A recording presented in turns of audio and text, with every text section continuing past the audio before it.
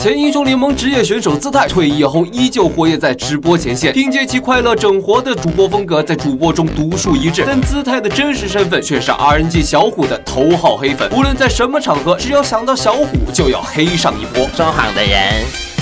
要疼一千根针哦！一次，姿态在英雄联盟官网上发现了一篇自己撰写的攻略。这是什么东西啊？姿态亲笔版本塔案维克多教你零点四秒打出三千伤害。老子亲笔也没写过这一句，教你零点四秒打出三 K 伤害呀，兄弟！正当姿态还在疑惑这篇以自己为名的攻略为何会出现在官网上时，下一秒姿态说的话却让小虎彻底破防。零点四秒打的比小虎。一局伤害都高，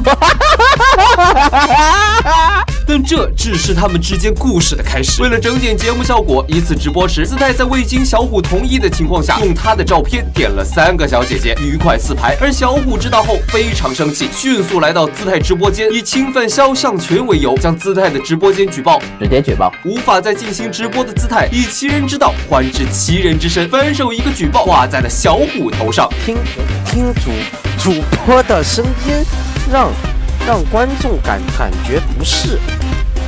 他为什么要举报我？声音为？